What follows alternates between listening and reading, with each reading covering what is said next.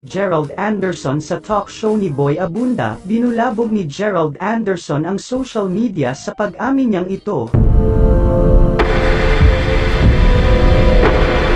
Inamin ni Gerald na meron silang relasyon ng celebrity actress na si Julia Barreto, matapos nga ang hiwalayang Gerald Anderson at Bea Alonzo, inamin naman ni Gerald na hindi niya daw ginos si Bea, bagamat rumesbak si Bea na biglang hindi na lang daw siya kinausap ni Gerald, in short wala silang official breakup.